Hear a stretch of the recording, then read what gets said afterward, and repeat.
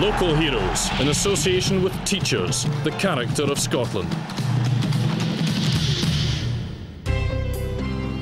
George Parsonage is a man to whom hundreds of Scots owe their lives.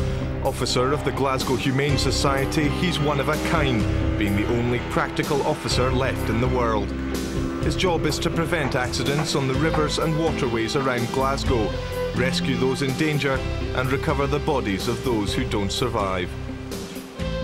His dedication started at an early age. While growing up, he helped his father Ben, the then officer, in the city's worst floods. Yet it was an art career he pursued which led to teaching. But after his father died in 1979, he took on the mantle full time. An arduous task, life threatening, and solitary job. Between George and his father, they have rescued over one and a half thousand people. George is indeed a local hero.